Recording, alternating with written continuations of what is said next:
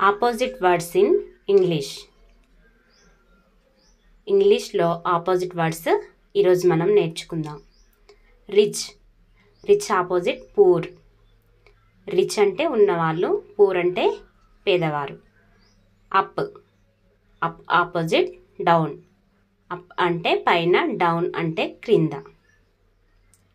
Old. Old opposite young. Old అంటే పెద్దవారు young అంటే యువకులు. Inside inside opposite word outside. Inside అంటే లోపల అవుట్ సైడ్ అంటే బయట.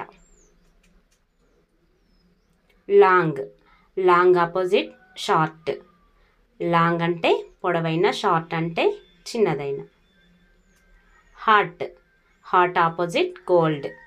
Hot అంటే వేడిగా ఉండడం కోల్డ్ అంటే చల్లగా ఉండడం. Yes yes opposite no. Yes అంటే అవును అని అర్థం నో అంటే కాదు అని అర్థం.